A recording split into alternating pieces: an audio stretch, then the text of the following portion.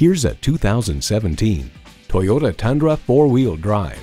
You need a truck that's as much of a workhorse as you are. This Tundra was built to meet life's toughest demands. It's well equipped with the features you need.